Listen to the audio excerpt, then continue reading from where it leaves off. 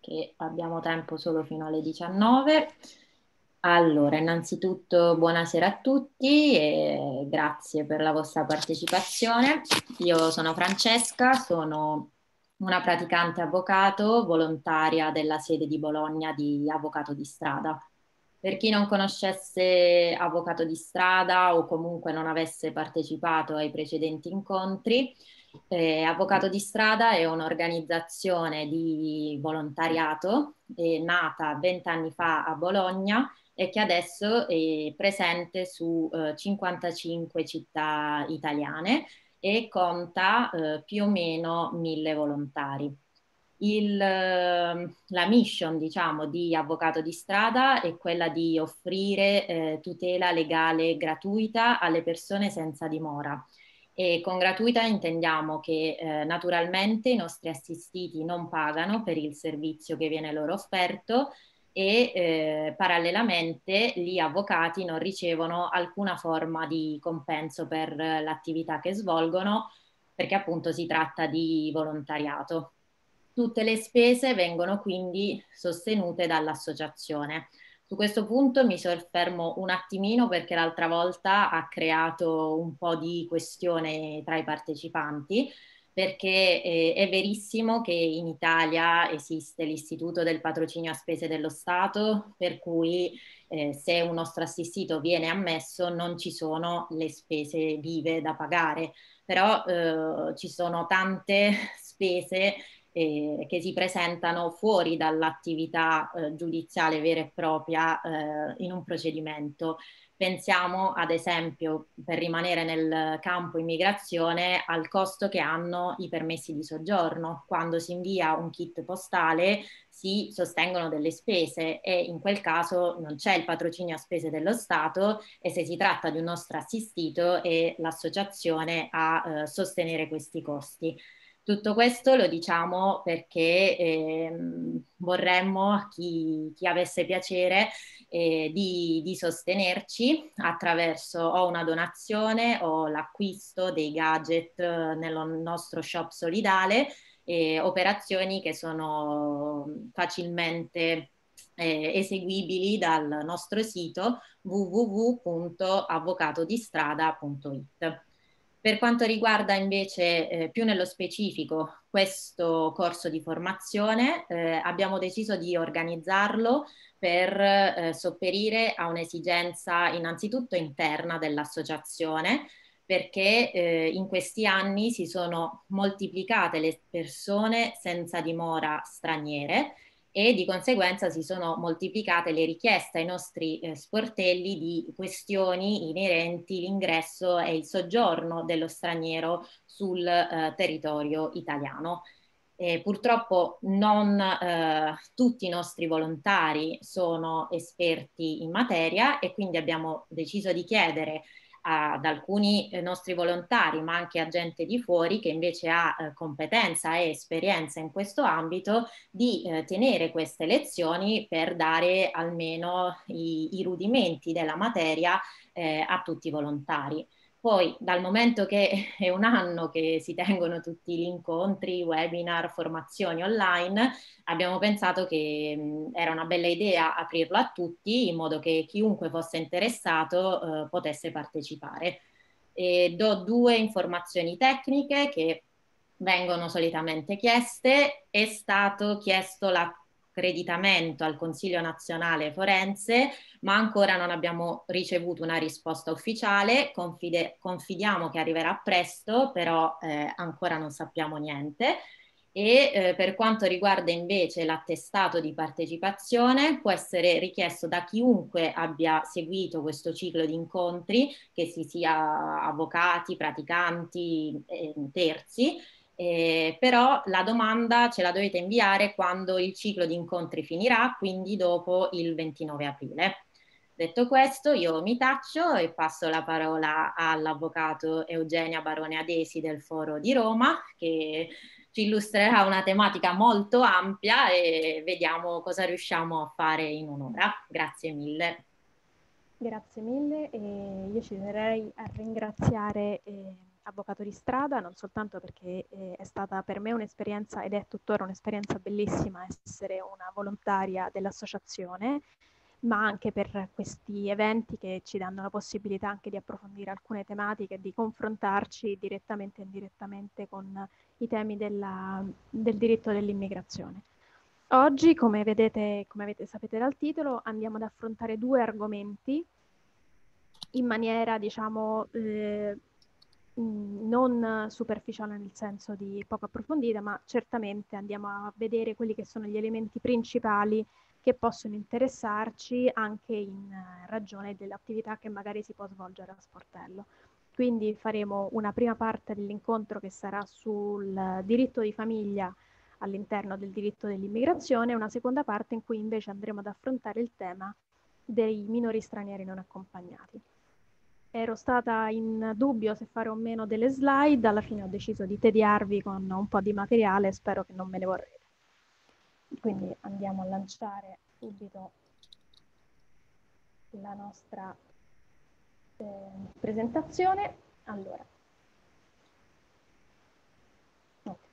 Allora, intanto cominciamo con il diritto familiare. Eh, come avete potuto vedere dalle dagli incontri scorsi, la norma in generale disciplina come eh, si entra all'interno dello Stato italiano in via regolare oppure come nel momento in cui si entri eh, per, altre, per percorsi magari non regolari, se si è richiedente protezione internazionale, che cosa bisogna fare per fare una richiesta in tal senso, un'istanza di protezione internazionale. Ora, ehm, il diritto alla famiglia, all'unità familiare è disciplinato in maniera generale dalla CEDU, dalla Carta dei diritti fondamentali e dalla Costituzione italiana. In via generale è garantito il diritto alla vita privata e personale della, della persona e a costruirsi una famiglia anche attraverso il matrimonio. Quindi non può escludersi che un cittadino di paese terzo che magari sia arrivato in Italia non possa in questa maniera far valere il proprio diritto e quindi riunirsi e ricongiungersi a quella che è la sua famiglia oppure costruire e costituire una famiglia sul territorio italiano. Questo è molto importante perché ovviamente sono principi generali eh, rilevanti sotto molti punti di vista. È importante tenere presente, per esempio, che eh, ovviamente il concetto di famiglia si è andato mutando in, uh, negli anni, proprio perché abbiamo avuto attraverso anche la giurisprudenza della Corte europea eh, la parificazione intanto tra famiglie non necessariamente... scusate, Non mi si sente? Esattamente. Ora mi si sente? Sì. Ok. E allora, ehm, ovviamente il concetto di famiglia è andato mutandosi nel tempo perché siamo passati da eh, un concetto ovviamente di famiglia eh, di, di, tipo più tradizionale, quindi unita da matrimonio un uomo e una donna, ovviamente poi con il concetto generale si è modificato, intanto negli anni 90 abbiamo avuto le prime sentenze che hanno parificato i vincoli non legati da eh, rapporto di coniuge poi successivamente da vincoli di persone dello stesso sesso, prima unite da unioni civili e poi da veri e propri matrimoni. Ora, una delle prime tematiche certamente che dobbiamo andare ad affrontare quando parliamo di eh, unità familiare, eh, familiare è il ricongiungimento familiare, ossia quando un cittadino di paese terzo regolarmente presente sul territorio italiano voglia far venire eh, in Italia la propria famiglia. Questo è uno dei pochi casi che noi abbiamo in cui una persona può in qualche maniera far venire nel territorio italiano persone che quindi non, regolarmente arrivano in Italia ma senza dover seguire tutta la procedura del decreto flussi con tutte le problematiche che sono connesse. Ovviamente il, la normativa di riferimento è il testo unico del, dell'immigrazione, quindi il decreto 286 del 98, in particolare gli articoli 28, 29 e 29 bis. Poi sono ovviamente sempre rilevanti gli, la, il decreto di attuazione del, decreto, del testo unico, quindi il DPR 394 del 99, e vedremo anche la normativa sulla, sui rifugiati. Iniziamo eh, rilevando chi il cittadino straniero può far venire in Italia. Può far venire in Italia il coniuge, il coniuge dal quale non sia legalmente separato e ovviamente la persona che fa venire il eh, coniuge in Italia non deve essere legata ad altri vincoli qui nel territorio italiano. figli minorenni e per figli minorenni si intende i figli che non avevano ancora raggiunto i 18 anni nel momento in cui si avvia la pratica di ricongiungimento familiare, i figli che non abbiano ancora raggiunto i 21 anni e che siano incapaci al 100%, è previsto poi per i genitori a carico, quindi genitori per i quali però si deve provare la eh, vivenza a carico, e i genitori oltre 65 anni, quando, eh, no, e quindi non, bisogno, non c'è più bisogno della vivenza a carico, ma non devono esserci altri figli nel paese dove, di origine o nel paese dove sono accolti perché si possa procedere al ricongiungimento familiare. Queste sono i, le persone che il, lo straniero può far venire in Italia attraverso la procedura. Però ovviamente il, lo straniero nel momento in cui fa una richiesta in tal senso deve dimostrare di avere i requisiti per procedere, procedere in tal senso. Dovrà dimostrare di avere il possesso di un alloggio idoneo o comunque di un'idoneità e dell'identità alloggiativa, l'alloggio deve essere parametrato con il numero di eh, familiari che si fanno venire in, in Italia ed inoltre eh, si deve considerare che ehm, c'è diciamo, un calcolo un po' diverso laddove il, si debba far venire il figlio eh, infra 14 anni. Deve essere assicurato un reddito minimo che deve essere pari all'assegno sociale, quindi all'incirca sono 5.000 euro l'anno e ehm, il e ovviamente deve derivare da fonti lecite di, di reddito e qualora si faccia venire il genitore oltre 65 anni si deve essere in possesso di un'assicurazione sanitaria. Queste sono le regole generali. Tali regole non si applicano per il, eh, la persona di cittadinanza straniera che abbia visto riconoscersi lo status di rifugiato in ragione di quanto previsto dall'articolo 29 bis del testo unico immigrazione e eh, altrettanto per il cittadino che si sia visto riconoscere la protezione sussidiaria, perché per espressa disposizione dell'articolo 22 del decreto legislativo 251 del 2007 è previsto che il eh, cittadino sussidiario, per quello che riguarda eh, la, la, normativa sul ricongiungimento familiare, ha, si vede applicare le stesse identiche norme del cittadino straniero con lo status di rifugiato.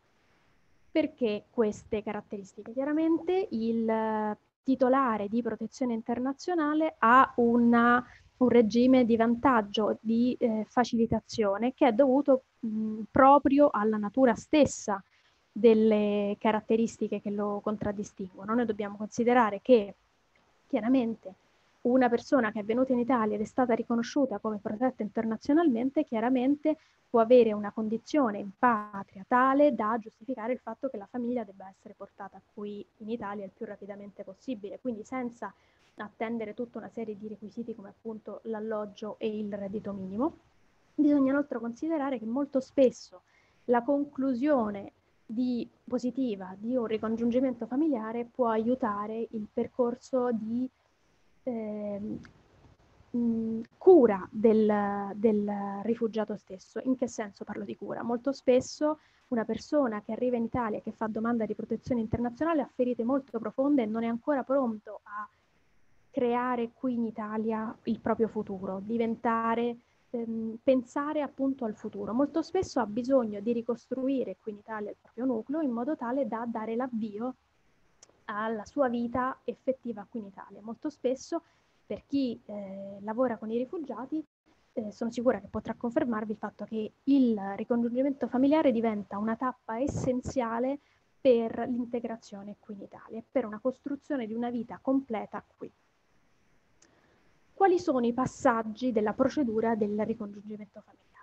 Il um, ricongiungimento può essere diviso di fatto in tre parti perché c'è una prima fase che si avvia dinanzi alla prefettura territorialmente competente dove la persona è residente e in quel caso che cosa si fa? Si avvia una procedura che si effettua in maniera ormai completamente telematica, si avvia una, si presenta un'istanza telematicamente, si presentano tutti i documenti necessari perché la prefettura emette il nulla osta, cioè si fa, dovrebbero fare, si fanno delle verifiche perché non ci siano elementi che ostano la venuta in Italia dello straniero che attualmente si trova nel territorio di destinazione.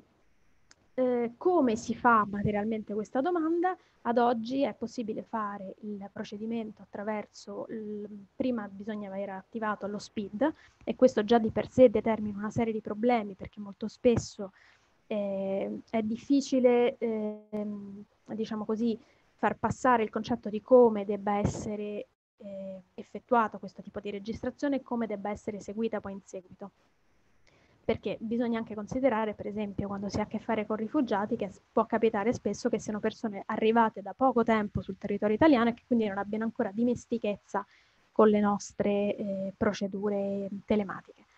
Un altro dei problemi sicuramente è la durata della procedura. La norma prevederebbe che il nulla osta venga emesso entro 90 giorni dalla presentazione dell'istanza, però molto spesso purtroppo questo termine non viene rispettato e abbiamo visto che attualmente con l'attuale crisi sanitaria entrare in contatto con la prefettura e conoscere le ragioni per cui magari una pratica non è stata lavorata diventa ancora più complesso.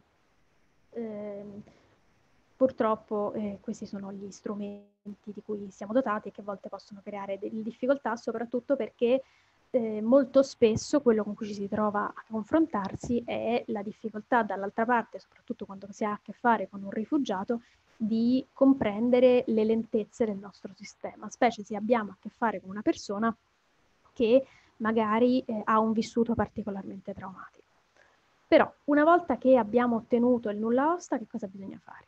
Teoricamente se la prefettura ha emesso il nulla osta entro i 90 giorni, automaticamente lo invia per via telematica all'ambasciata competente al rilascio dei visti però questa cosa praticamente non avviene mai, quindi che cosa succede? Che la persona si deve recare in prefettura, ritira il eh, documento originale del nulla osta e lo deve inviare materialmente alla, al parente nel paese d'origine perché poi presenti i documenti all'ambasciata per l'avvio della procedura per il rilascio del visto. Questo già determina poi una serie di problemi perché purtroppo molto spesso e ancora di più in questo periodo storico la, eh, l'accesso agli uffici dell'ambasciata non è sempre facilissimo, non è sempre agevole. Quindi molto spesso, per esempio, mi è capitato di dover eh, interfacciare con determinate ambasciate in modo tale che venisse fissato l'appuntamento alle persone perché poi potessero presentare le istanze e procedere con la domanda. Un'altra problematica che sicuramente a volte eh, si ha è l'accertamento dei documenti, perché eh, la fase, diciamo, in uh, prefettura è una fase che si basa soltanto sulle carte, quindi non si fa una valutazione poi sulla real, sul, se i documenti sono reali o meno, anche perché molto spesso ovviamente la prefettura si basa per alcuni aspetti sulle, su semplici fotocopie o scansioni. Sta all'ambasciata verificare la eh, regolarità della documentazione presentata, la documentazione che magari attesta il rapporto di coniugio o il, il vincolo familiare o magari la mancata presenza di fratelli sul territorio nazionale quando bisogna far venire un genitore. E quindi questo è un ruolo che spetta sicuramente all'ambasciata. Soprattutto quando si tratta di persone con la protezione internazionale, purtroppo a volte ci sono mancati riconoscimenti, soprattutto per quello che riguarda il rapporto di filiazione, e quindi molto spesso quello che l'ambasciata fa è ricorrere al test del DNA questo test, che dovrebbe essere un'estrema razio per quanto previsto tanto dalla direttiva UE quanto dalle linee guida di UNHCR, è purtroppo utilizzato molto spesso in maniera indiscriminata e questo può eh, determinare una serie di problemi, soprattutto perché noi dobbiamo ricordare che eh, per la legge italiana non è soltanto vincolo familiare, vincolo di filiazione quello legato al sangue, ma potrebbe essere anche il, appunto, una persona che magari ha adottato un figlio oppure che magari non ha mai scoperto che la, il figlio non era biologicamente suo e questo ovviamente può determinare tutta una serie di problemi. Per quello che riguarda il test del DNA eh, per i rifugiati, eh, se ne occupa materialmente OIM, che, eh, che è l'Organizzazione Mondiale per le Migrazioni, che si occupa di prendere il campione in Italia il campione nel paese d'origine per procedere poi all'accertamento. Mettiamo caso che il nostro eh, ricongiungendo riesce finalmente a ottenere il visto, ovviamente a quel punto bisogna fare il, i biglietti e arrivare in Italia. Nel momento in cui arriva in Italia, entro otto giorni dall'arrivo, bisogna teoricamente presentarsi in prefettura, molto spesso prendere l'appuntamento direttamente alla prefettura competente per segnalare l'ingresso in Italia e quindi avviare tutta la procedura per il rilascio del permesso di soggiorno. Permesso di soggiorno che per i familiari di persona eh, regolarmente presente sul territorio italiano è un permesso per motivi familiari di durata che dovrebbe essere eh, pari a quella del, del permesso di soggiorno della persona che fa ricongiungere tenuto conto però che, per esempio, se parliamo di rifugiati e di persone con la protezione sussidiaria, questi hanno un permesso di soggiorno di 5 anni. In realtà il permesso di soggiorno per motivi familiari è al massimo della durata di due anni, quindi diciamo che ehm, non avranno un permesso di soggiorno pari in realtà alla durata di quello del, del familiare con cui si ricongiungono. accanto al ricongiungimento familiare dobbiamo considerare quella che è la coesione familiare, ossia cosa succede se la persona eh, crea un vincolo familiare in Italia o magari il parente si reca, è in Italia per altre ragioni.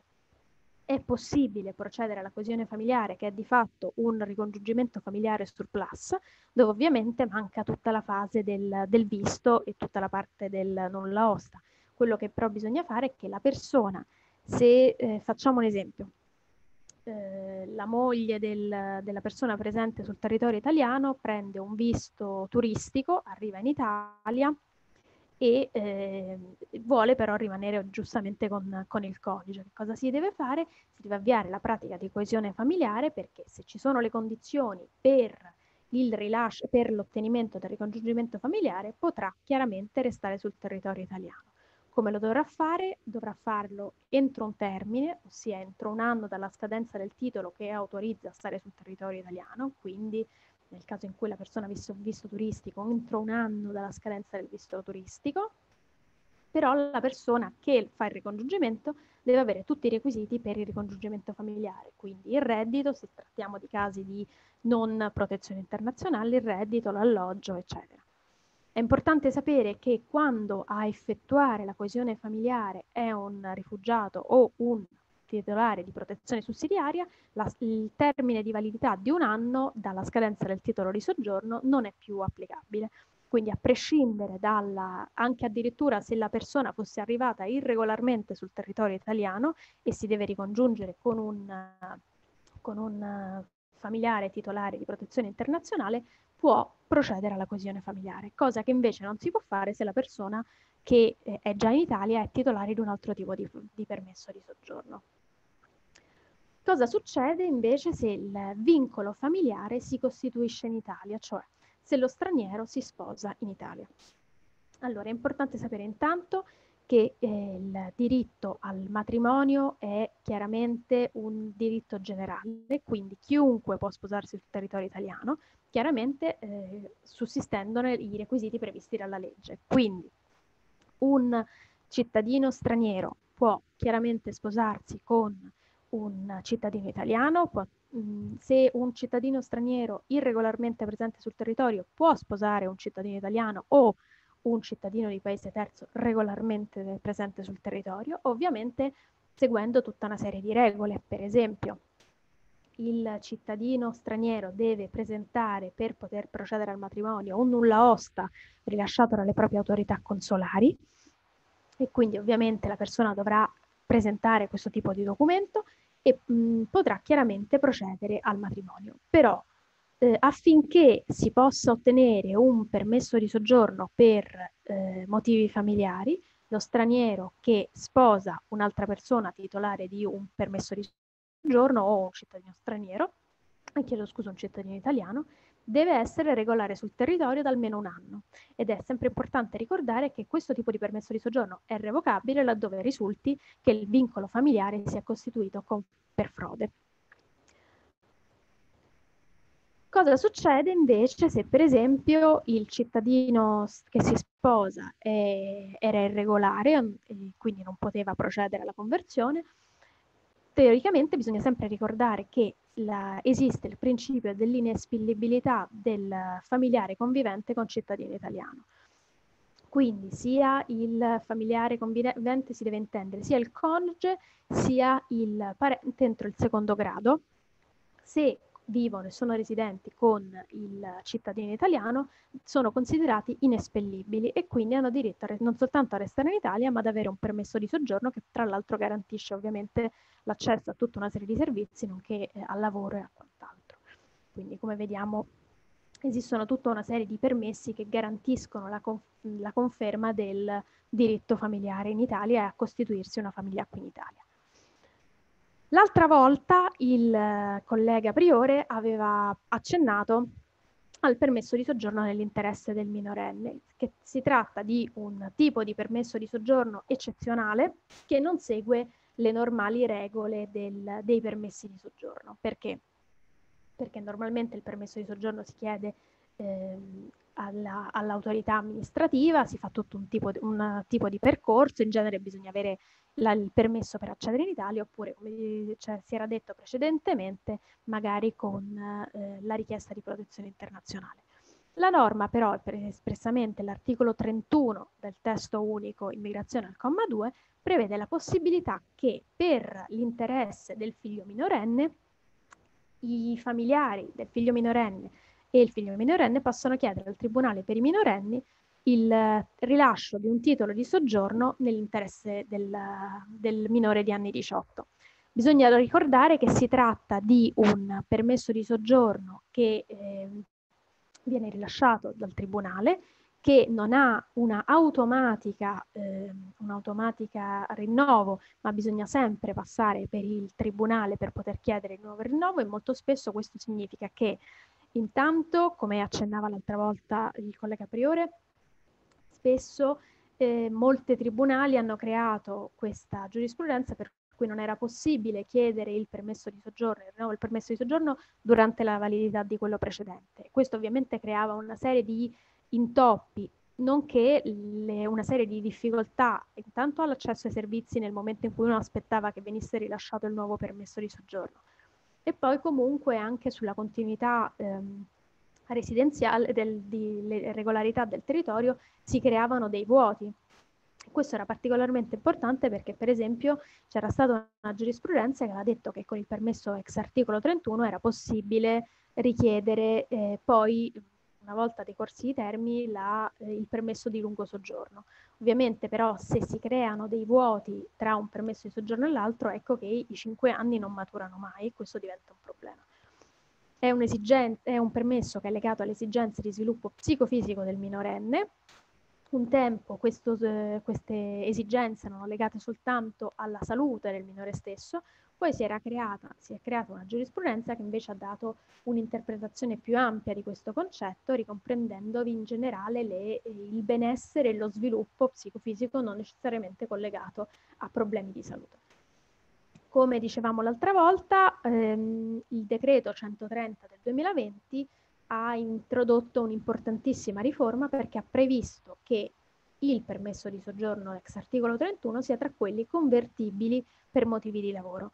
Questo crea una possibilità per la persona che ha ottenuto questo tipo di documento di ehm, scindersi, di mh, sciogliersi dal vincolo collegato allo sviluppo del, del minore, ma addirittura la, eh, si realizza la possibilità che materialmente la persona si integri, ottenga un titolo di soggiorno e quindi eh, in qualche maniera renda eh, collegata a quel punto al rapporto di lavoro l'attività e la sua presenza sul territorio italiano, rendendolo chiaramente finalmente libero da tutta una serie di problematiche di cui abbiamo parlato fino ad ora.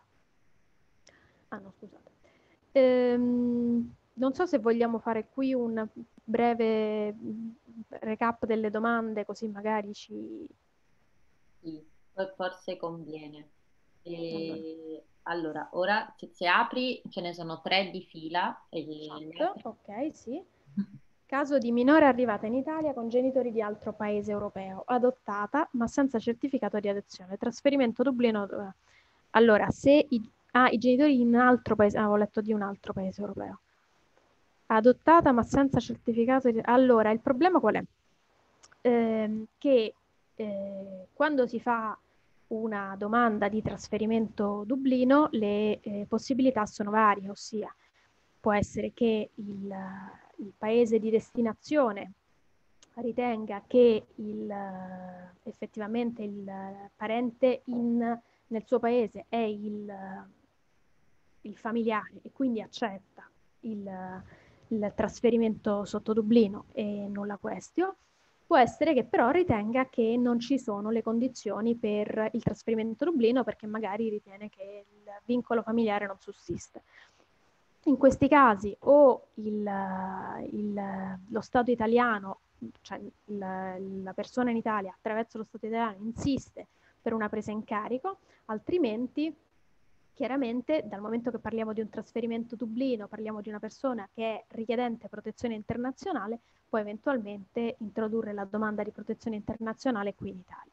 Bisognerebbe capire le ragioni per cui è stato negato. Faccio presente da questo punto di vista che in realtà quando si chiede un trasferimento Dublino si possono dimostrare il, il rapporto familiare non necessariamente con documenti, ma si possono presentare tutta una serie di altre allegazioni che favoriscono la dimostrazione del rapporto familiare, possono essere foto, possono essere messaggi, possono essere lettere, tutto quanto che dimostri che tra il familiare e il minore c'era un collegamento già precedentemente, cioè che, che non è una cosa che è stata, diciamo così, inventata. Eh, caso di minore arrivate, no, questo c'è. Il permesso ex articolo 31 può essere richiesto anche dal padre, dal solo padre regolare, pur avendo il minore già la madre regolarmente presente sul territorio, facendo leva sull'interesse dell'unità familiare.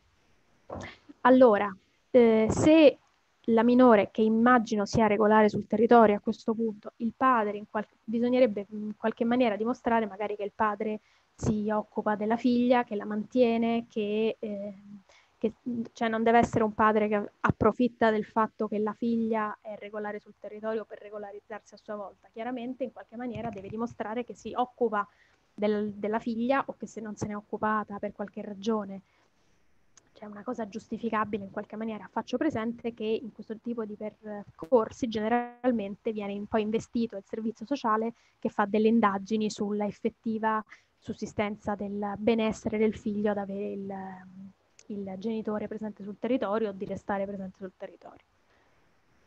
Poi vediamo un po'.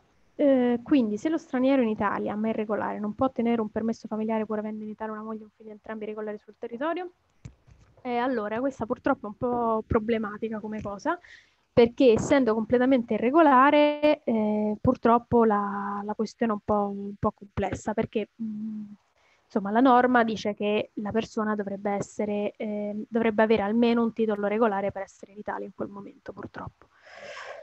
Poi, allora, una persona che ha cittadinanza italiana e se vuole, e vuole sposare uno straniero regolarmente residente in un altro paese europeo, può sposare e deve avere per forza di Italia per un anno. Eh, Eugenio, scusami. No, sì.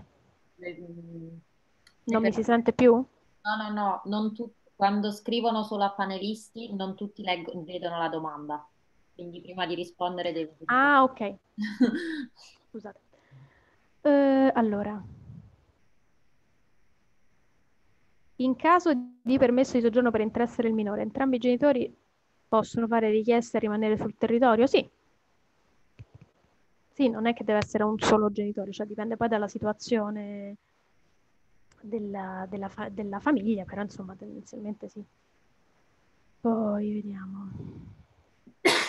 Sorella di cittadina italiana ha chiesto la coesione familiare con i figli minori, è in attesa da più di tre anni e nel frattempo i bambini vanno a scuola.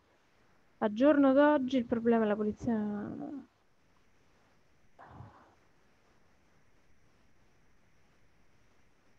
Eh, questo nel senso diventano un po' complicate, quindi non, Ok, allora vediamo un attimo. Prima ci avevano chiesto se in sì. caso di revoca del permesso eh, del ricongiungimento per frode sia uh-huh. necessario che passi in giudicato la sentenza o basta l'avvio del procedimento. Non ne ho idea. Ok. Non mi, cap- non mi è mai capitato, scusate, ma non mi è mai capitato. Non mi ricordo chi l'ha chiesto, eh, non lo sappiamo. Allora, la richiesta di invio telematica per il rilascio nulla ricongiungimento può essere presentata dall'avvocato modificato di mandato. Attualmente va fatto per via SPID.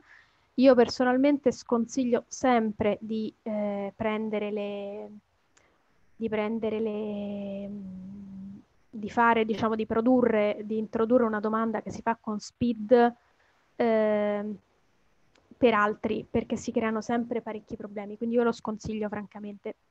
Meglio che magari si dà una mano a capire come funziona lo SPID e poi si fa fare la domanda direttamente.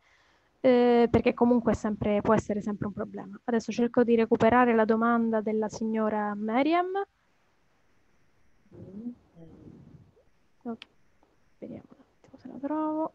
Mm, una persona che ha la cittadinanza italiana e vuole sposare uno straniero regolarmente pre- residente in un altro paese europeo, può sposare o deve per forza venire a vivere per un anno in Italia? No, il matrimonio si può sempre chiaramente fare e appunto, come dicevo prima, se la persona ha la cittadinanza allora, intanto poi bisogna vedere magari che tipo di permesso ha la persona nell'altro, nell'altro stato italiano, eh, nell'altro stato europeo, però in generale, se la persona, la, ma sposarci, sposarsi ci si può sposare, quindi non c'è nessun problema. In più, la persona che convive con, cioè il, il coniuge di cittadino italiano, se convivono, non può essere espulso e ha diritto a un permesso di soggiorno, quindi da quel punto di vista non, non ci sono problemi. Ok, a questo punto andrei avanti con uh, la tematica perché adesso entriamo in un'altra tematica pure un po' complessa che è appunto i minori stranieri non accompagnati. Allora, la normativa sui minori sui minori in generale è una normativa che di fatto si è creata a partire dalla, da dopo la prima guerra mondiale. Fino a quel periodo i minorenni non erano considerati, ehm, diciamo, ehm, eh, soggetti di diritto in senso proprio, né tantomeno soggetti di diritti. Erano una emanazione della famiglia, a volte addirittura una proprietà, una proprietà del, del padre, eh, della madre, a volte tendenzialmente solo del padre. Cosa succede? Che già a partire dal 1924 inizia tutta una serie di normative che vanno invece a tutelare i diritti dei, dei minorenni in particolare abbiamo la Convenzione del 24, poi la Convenzione del 59, per arrivare alla Convenzione Universale dei diritti del fanciullo del 1989, che è la cosiddetta CRC, che per tutte le persone, gli agenti di diritto eh, che si occupano della materia è eh, l'elemento fondamentale di tutta la normativa. È importante sapere che eh, tutta una serie di principi di cui adesso andremo a parlare successivamente erano già presenti nella nostra normativa italiana, ma sono stati in qualche maniera messi in ordine a sistema dalla legge 47 del 2017, che è la cosiddetta legge Zampa, che ha dato un ordine e una, eh, una organizzazione a tutta una serie di principi anche soltanto per superare il concetto e la mh, difformità di prassi sul territorio nazionale. Intanto incominciamo con il concetto. Cosa, chi sono i minori stranieri non accompagnati? L'articolo 2 della legge 47 disciplina quali sono questi soggetti e sono ovviamente persone con età inferiore agli anni 18 che non hanno la cittadinanza italiana o dell'Unione Europea che sono presenti sul territorio dello Stato o si trovano comunque sottoposti alla giurisdizione italiana, senza i genitori e la rappresentanza dei loro genitori in Italia o di altri adulti legalmente responsabili in base alle leggi dell'ordinamento italiano. Quindi, intanto è importante dare il, il principio che si tratta di persone minori di anni 18 e questo elemento è particolarmente importante, vedremo come la eh, legge Zampa ha disciplinato questa problematica cioè l'identificazione della persona eh, sotto gli anni 18, deve avere, quando si dice che non deve avere altri adulti legalmente responsabili in base alle leggi vigenti, è importante sapere che la Cassazione ha specificato che non è sufficiente che ci siano magari familiari ai quali la persona è stata affidata verbalmente, ma deve esserci un vero e proprio provvedimento giudiziale, proprio perché legge, per la legge italiana non è possibile l'affido verbale quali sono i diritti che sono collegati al minore, all'essere un minore straniero non accompagnato. Intanto il minore straniero non accompagnato non può essere mai respinto in nessun caso, è inespellibile, quindi eh, non, può essere, non, può ricevere un provvedimento di espulsione eh, perché si trova in Italia regolarmente, salvo mh, eh, qualora l'espulsione non sia stata emessa per ragioni di sicurezza dello Stato E anche in questo caso il, è previsto che il, il, il questore chieda l'autorizzazione al Tribunale per i minorenni per procedere all'espulsione e il Tribunale per i minorenni deve comunque verificare che l'espulsione non sia contraria all'interesse superiore del minore. Ovviamente eh, l'inespellibilità è anche collegata alla possibilità di avere un permesso di soggiorno, perché il, bisogna sempre ricordare che chiaramente il permesso di soggiorno rappresenta l'elemento fondamentale per l'accesso a tutta una serie di diritti. Quindi ha diritto a un permesso di soggiorno, nello specie può chiedere semplicemente un permesso di soggiorno per minore età, che è un permesso che è valido e ha valore fino ai 18 anni, e, e una volta quando si è, si è, raggiunti i 18 anni è possibile procedere alla sua conversione in, eh, una, in permessi diciamo, per adulti, che vedremo tra poco. È importante sapere che il minore ha diritto a essere accolto in centri specifici per minorenni, non deve essere mai accolto in centri misti, ma in centri dedicati ai minorenni e deve essere mh, a, a, è, mh, vi è il principio della parità di trattamento rispetto ai minorenni italiani per tutta una serie di servizi. Faccio un esempio fra tutti. Il minore straniero non accompagnato, eh, anche prima che gli venga rilasciato il permesso di soggiorno, ha diritto all'accesso al Servizio Sanitario Nazionale. Importantissimo, e non dimentichiamolo, è il diritto inoltre all'ascolto e a essere informati questo che cosa vuol dire? È un principio che comunque in generale si applica a tutti i minorenni, ma a maggior ragione per i minori stranieri non accompagnati, questo significa che tutte le informazioni gli devono essere fornite in una, mani- in una lingua a lui comprensibile e in una maniera che sia, ehm, si dice nel, nel, gergo child friendly, quindi un, che tenga conto del livello di... Eh, di istruzione e di maturità del ragazzo in modo tale che possa essere effettivamente eh, assorbite in una maniera che sia eh, realistica. In tutte le procedure che riguardano il minore straniero non accompagnato è prevista la presenza di un mediatore culturale.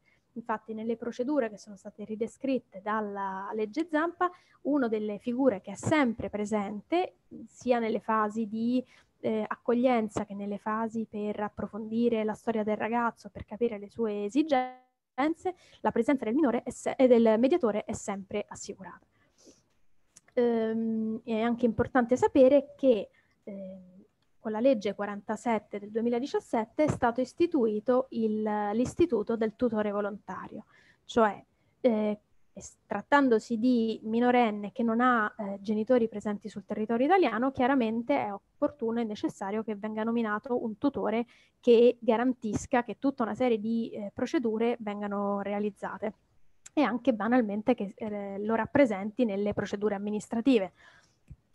Ehm, nella prassi fino al 2017 questo ruolo era di fatto svolto dal sindaco, molto spesso sostituito, quasi sempre sostituito dai servizi sociali. Questo cosa significava? Che ogni eh, assistente sociale del comune poteva avere centinaia di eh, minorenni affidati, sia minori stranieri che minori italiani in stato di abbandono. Questo, a detta, a, a, detta del legislatore, non garantiva quelli che erano i diritti eh, del minorenne e quindi si è ideato questo nuovo istituto, ossia la possibilità per i cittadini italiani di fare eh, cittadinanza attiva, di eh, proporsi come, eh, come, tutori di minori stranieri non accompagnati. In genere si fa un percorso attraverso il, attraverso il garante regionale del, dell'infanzia che indice un, un, corso di formazione e poi vengono selezionati i, eh, le persone che ritengono di voler fare questo tipo di percorso e quindi saranno delle persone che non sono assolutamente, i, non sono assolutamente dei eh, affidatari, ma eh, svolgono tutte le funzioni di tipo amministrativo e molto spesso possono diventare una, una realtà particolarmente importante per il minore straniero non accompagnato. Dal punto di vista della procedura, eh, una volta che il minore arriva in Italia, è importante sapere che quando un minore straniero non accompagnato viene individuato sul territorio nazionale dall'autorità di pubblica sicurezza, questa ne deve dare subito comunicazione alla procura perché, eh, per, i, per, i, minorenni presso il Tribunale per i minorenni e soprattutto al tribunale per i minorenni, perché si deve procedere appunto alla, all'apertura della tutela, alla nomina del tutore e il minore deve essere accolto in una struttura apposita, quindi deve essere ratificata la misura d'accoglienza. Inoltre è importante che venga comunicata la sua presenza al Ministero del Lavoro perché è il Ministero del Lavoro che si occupa di censire e monitorare la presenza dei minori sul territorio italiano. Da questo punto di vista, tra l'altro, se vi interessa vedere quelli che sono i dati, vi consiglio di andare sul cruscotto del Ministero del Lavoro, che per l'appunto fornisce dati dei minori presenti in Italia, delle nazionalità principali, delle, delle fasce di età e di dove sono accolti. È molto importante perché ovviamente ci dà il segno e il polso di quelle che sono le presenze in Italia sul, sul territorio. Ehm, quindi questi diciamo sono chiaramente dei passaggi fondamentali ai fini della, della, dell'entrata nel sistema del minore stesso. Dicevamo prima che l'età del minore straniero non accompagnato è un elemento particolarmente importante, proprio perché può determinare la differenza tra una persona che può essere espulsa o che non può essere espulsa dal territorio dello Stato italiano. Il problema è che molto spesso salvo per alcune eh, nazionalità, generalmente il minore non arriva munito di un documento di riconoscimento, di un documento che ne attesti e ne eh, garantisca eh, dati anagrafici e soprattutto la data di nascita. Altro problema è che, soprattutto per determinate nazionalità, alcuni di loro neanche sono in grado di, eh, di, dare con certezza le date di nascita. È un caso molto comune, per esempio, per i cittadini somali, che sono in grado più o meno di dire l'età che possono avere, ma non sono in grado di dare una data di nascita precisa. La normativa italiana fino al 2017 era piuttosto, eh, non era sufficientemente chiara e questo aveva determinato tutta una serie di problematiche di applicazione della norma o addirittura di utilizzo di strumenti di accertamento dell'età che poi si erano rivelati non, eh, rivelati non sufficienti. Per esempio sono sicura che molti di voi sono a conoscenza del fatto che il, uno degli strumenti più utilizzati per eh, valutare l'età del minorenne era la radiografia del polso attraverso il, um, il metodo Grolich-Pyle. Questi erano due scienziati che tra le due guerre hanno fatto una eh, valutazione su tutta una serie di eh, radiografie di polsi di ragazzi della, um, americani quindi parliamo di eh, ragazzi caucasici tra le due guerre che eh, avevano fatto un certo tipo di vita e certa, avevano ricevuto una certa alimentazione. Si erano rilevato che in quei casi c'erano una serie di ossa, adesso non mi chiedete quali perché non, non lo so, che non, erano, eh, non avevano finito la calcificazione e quindi si poteva ritenere che nel caso di assenza di calcificazione si avesse un ragazzo minorenne, con la calcificazione si avesse invece un ragazzo maggiorenne. Ora, a parte il fatto che ognuno di noi, mh, soprattutto a seconda del tipo di vita e di sforzi e di alimentazione che ha ricevuto, può ottenere una diversa eh, ossificazione del, del polso, chiaramente eh, c'era un tale margine di errore da non poter garantire la tutela del, dei ragazzi. Anche perché molto spesso si era scoperto che non soltanto ehm, non era affidabile il sistema, ma addirittura la stessa radiografia vista da più persone poteva determinare una risposta diversa. Quindi che cosa è successo? Che la legge 47 ha voluto in qualche maniera dare eh, un ordine a quelle che sono le regole previste per la valutazione dell'età.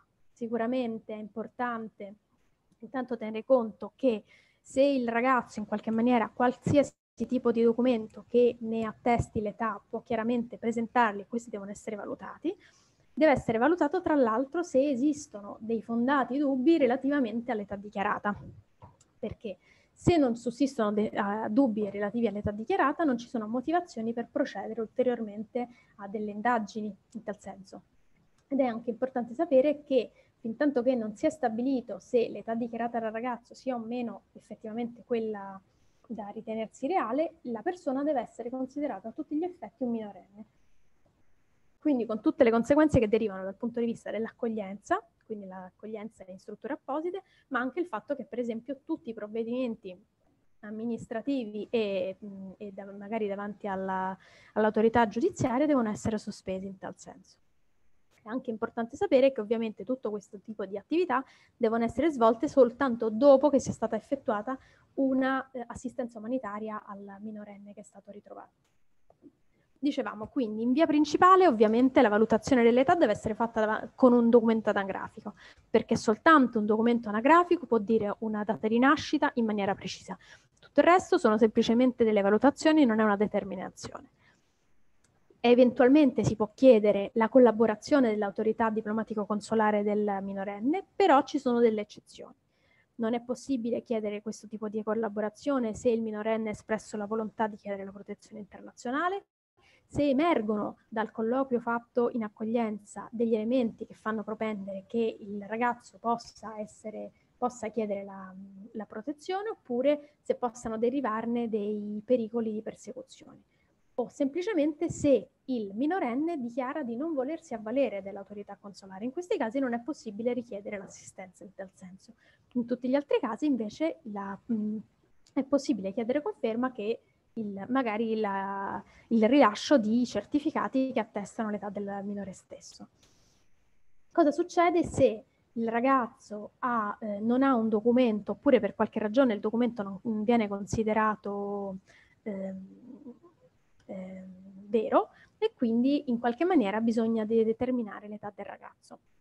Allora, se non è in possesso di alcun tipo di documento, si dovrebbe procedere ad un colloquio che serve a stabilire se eh, il livello di eh, maturità e tutta una serie di informazioni che vengono fornite al servizio sociale, all'assistente sociale del centro dove il ragazzo è accolto, sono compatibili con l'età di Chiara se sussistono ancora fondati dubbi, si potrebbe procedere con la valutazione e con gli accertamenti sociosanitari.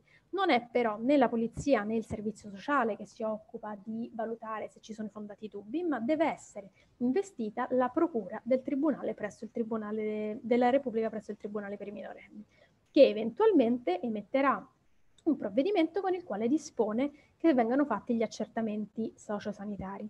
Cosa sono gli accertamenti sociosanitari?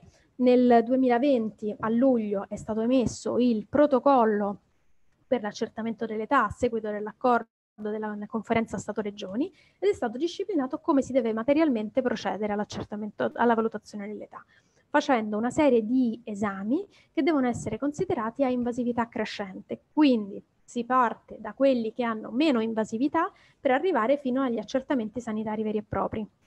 È importante sapere che il minorenne deve essere sempre informato con l'ausilio del mediatore del tipo di procedimento che si sta per avviare e delle conseguenze che può determinare. In primo luogo si procede ad un colloquio con un assistente sociale, poi si può procedere con una, un incontro con uno psicologo dell'età evolutiva e infine con un pediatra con competenze oxologiche. Questi eh, passaggi sono eventuali perché? Perché nel momento in cui sussistono le condizioni per determinare che la persona ha un'età eh, inferiore agli anni 18, il, la procedura si deve fermare, non si deve mai arrivare fino all'ultimo step a meno che non ci sia effettivamente la necessità di eh, effettuarlo, perché altrimenti occorre fermarcisi prima. È importante anche sapere che se alla fine di tutto questo percorso ci so, ci, so, cioè, esiste ancora il dubbio sull'età del minore, si deve pre, prevalere per la minore età, quindi il ragazzo deve essere considerato minorenne. Cosa succede se eh, quando finalmente il ragazzo però raggiunge la maggiore età? Il ragazzo che ha raggiunto la maggiore età ovviamente può convertire il suo permesso di soggiorno. Come lo può convertire? Lo può convertire in studio, in lavoro e in attesa occupazione, in ricerca lavoro. Come lo fa? Attraverso un kit postale, quindi inviando il kit postale ehm, eh, tramite la procedura normale. Ha però dei passaggi in più rispetto al, a un cittadino maggiorenne. Intanto, se il minore non, ha, ehm, non è in Italia da almeno tre anni e non è stato ammesso a un percorso di integrazione di due, dovrà chiedere il parere alla DG Immigrazione. Il parere alla DG Immigrazione è un parere che viene effettuato eh, generalmente dagli assistenti sociali, che materialmente trasmettono una relazione sullo stato, eh, sul percorso fatto dal ragazzo e tutte le informazioni necessarie all'autorità amministrativa che rilascerà questo tipo di eh, parere. È importante sapere che la legge 47 del 2017 aveva previsto che questo, per questo parere si applicasse il silenzio assenso. Quindi, qualora la DG Immigrazione non emettesse il parere nei termini stabiliti dalla legge, questo doveva considerarsi come positivo e quindi la questura non poteva opporre eh, mancato, la mancata emanazione del parere come motivo per la mancata conversione. Cosa succede nel 2018? Che il governo due governi fa, ormai, giustamente, eh, il, viene emesso il decreto 113 del 2018, il cosiddetto primo decreto sicurezza. Qual era una delle bandiere di questo primo decreto sicurezza? Che i minori non si toccavano, che i minori erano salvi, che non avrebbero avuto alcuna conseguenza. In realtà non è assolutamente vero per due ordini di ragioni. Il primo perché eh, con la legge di conversione con un'operazione veramente degna di un prestigiatore, viene eliminato dal legislatore il silenzio assenso per, manca- per il mancata emanazione del parere della DG Immigrazione e come sappiamo viene eliminato la protezione umanitaria, che era in molti casi un tipo di forma, la protezione più comune che veniva rilasciata ai minori stranieri non accompagnati, perché molto spesso se il minore straniero non accompagnato faceva domanda di protezione internazionale, in ragione dell'arrivo eh, prima dei 18 anni, dell'avvio del percorso di ehm, migrazione come da ragazzo, eccetera, veniva considerato vulnerabile e quindi gli veniva riconosciuta questa forma di protezione. Con la conseguenza che con la sua eliminazione ovviamente moltissimi minori sono rimasti senza permesso. Anzi, no, scusate, molti ragazzi che intanto sono diventati maggiorenni. Per quello che riguarda il parere della DG Immigrazione, l'eliminazione del principio del silenzio assenso aveva determinato un intasamento dell'attività della DG Immigrazione, che da doversi concentrare soltanto sulle domande più complesse, quelle più eh, che meritavano una maggiore attenzione, si è dovuto iniziare a, dare una risposta a tutti i pareri che venivano richiesti, perché altrimenti le pratiche venivano bloccate in questura e non si poteva procedere alla conversione. Questo però che cosa determinava? Determinava anche che se un minore magari era arrivato da poco tempo sul territorio italiano e, eh, e magari aveva dato segni di essere una persona in- che aveva intenzione di integrarsi, di lavorare e quant'altro, ma era arrivato appunto troppo a ridosso dei 18 anni, la DG non poteva a quel punto rilasciare un parere favorevole alla conversione, perché questo tipo di parere sare- cioè, non aveva le basi per poter essere rilasciato cosa che invece in vigenza del silenzio assenso poteva essere chiaramente bypassato dal non emettere alcun parere.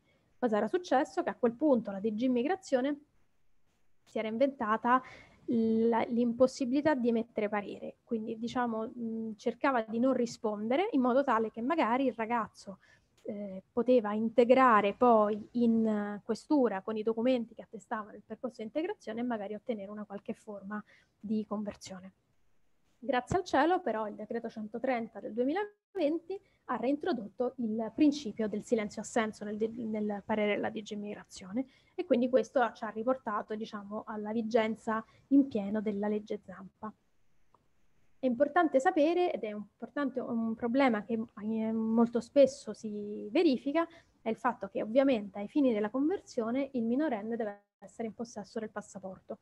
Questo può determinare di, diversi problemi, soprattutto perché diverse ambasciate, diversi uffici consolari eh, molto spesso non rilasciano una forma di eh, passaporto se il minore non può dimostrare o un passaporto vecchio scaduto o almeno un documento che attesti la minore età. Questo perché? Perché ehm, diciamo, non, non, rilasciano questo tipo di documento e quindi questo rallenta tutta una serie di procedure o addirittura rende impossibile la conversione stessa. E quindi non so se vi capitasse, chiaramente laddove eh, se qualcuno di voi magari lavora in eh, centri di accoglienza per minori o ha a che fare con minori stranieri non accompagnati, ovviamente con un certo anticipo occorre avviare tutte le procedure per il rilascio del passaporto in modo tale che poi al momento dei 18 anni si possa convertire. Ehm, a fini di precisione, ovviamente il parere della DG Migrazione si può chiedere a partire da 90 giorni prima il compimento della maggiore età fino a 60 giorni dopo, la conversione del permesso di soggiorno da 60 giorni prima fino a 60 giorni dopo il raggiungimento della maggiore età. Infine vi voglio parlare di questo istituto previsto dall'articolo 13 della legge Zampa che è il proseguo amministrativo. Il proseguo amministrativo trae origine da un eh, istituto di mh, fascista memoria che è l'articolo 25 del Regio Decreto 1404 del 34. Questo um, istituto, eh, quello diciamo degli anni 30, era un uh, istituto realizzato per quei minorenni che al raggiungimento della maggiore età non avevano ancora, eh, avevano dimostrato diciamo, un comportamento non regolare, per così dire, o comunque che non dava segni di eh, una integrazione eh, reale e effettiva e quindi dovevano essere in qualche maniera tenuti ancora sotto controllo per alcuni anni. Al contrario, il, l'articolo 13 della legge Zampa è un istituto premiale, è un istituto che è previsto laddove il minorenne abbia fatto già e intrapreso un buon percorso integra- di inserimento sociale, ma non ha ancora tutti gli aspetti che lo supportano in un percorso totale di autonomia. Deve essere ancora supportato perché sia eh, autonomo e indipendente e ce la possa fare da solo. Quindi che cosa si fa in questi casi? Il servizio sociale, il tutore volontario o addirittura si ritiene perfino il minorenne stesso al raggiungimento della maggiore età, fa un'istanza al Tribunale per i minorenni dimostrando quello che è il percorso di integrazione fatto a quel, fino a quel momento, presentando un progetto di integrazione per gli anni successivi e si chiede che il minore venga affidato al servizio sociale fino addirittura ai 21 anni non necessariamente il, il, Tribunale per i minorenni affiderà fino ai 21 anni, generalmente si fanno una serie di step eh, con il servizio sociale in modo tale che si verifichi l'andamento del, del percorso di inserimento e magari venga rinnovato appunto fino ai 21 anni. È importante sapere che con il, che con il decreto 130 del 2020 è stato previsto che i minori in proseguo amministrativo e i neomaggiorenni in proseguo amministrativo possano essere accolti nel circuito SAI ex SPRAR e quindi in questa maniera si eviti che il, i ragazzi in proseguo amministrativo de- carichino troppo sul, ehm, sul budget dei, munici- dei comuni, perché molto spesso purtroppo una delle problematiche per cui l'istituto non era partito fino in fondo era il fatto che purtroppo i servizi sociali molto spesso non avevano le forze economiche per poter sostenere questo tipo di percorso e quindi non facevano mai la richiesta di affidamento. Invece in questa maniera, andando a gravare sul servizio centrale, quindi sul Ministero, si spera di poter in qualche maniera garantire che tutti coloro i quali abbiano gli elementi e le condizioni per il riconoscimento del proseguo possano effettivamente vederselo riconosciuto.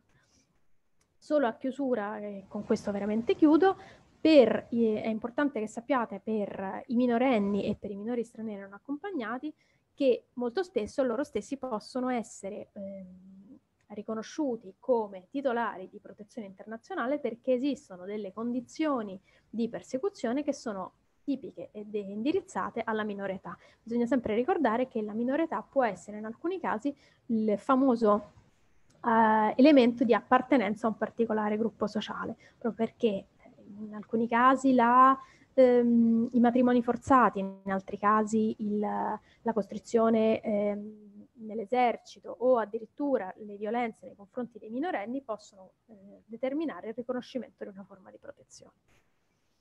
Con questo ho chiuso e vi ringrazio per avermi dato una scusa per mettere il rossetto. Allora, grazie a te Eugenia. E... Riesco anche a stoppare la, lo schermo, la condivisione schermo.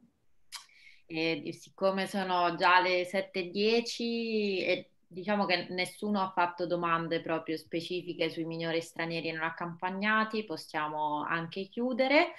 E vi ringraziamo. E, um, il prossimo incontro è giovedì prossimo e colgo l'occasione per segnalarvi un, un altro incontro che sarà lunedì eh, che realizziamo all'interno della diciassettesima settimana di azione contro il razzismo, quindi eh, il tema saranno discriminazioni e ordinamento italiano. Trovate tutte le le informazioni sul nostro sito, comunque anche c'è l'evento Facebook eh, dove trovate il link per eh, registrarvi, che comunque vi invio qui l'evento Facebook e da lì trovate tutto.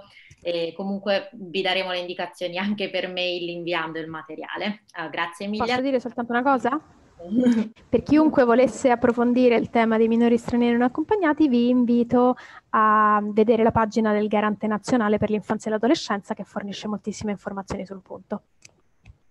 Benissimo, arrivederci a tutti, grazie.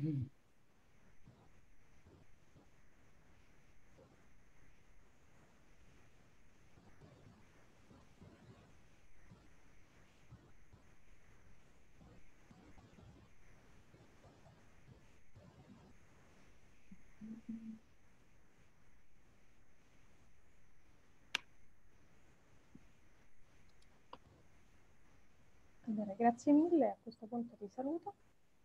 Ciao Eugenia, sì, ora chiudo anche io. Ciao, buona serata.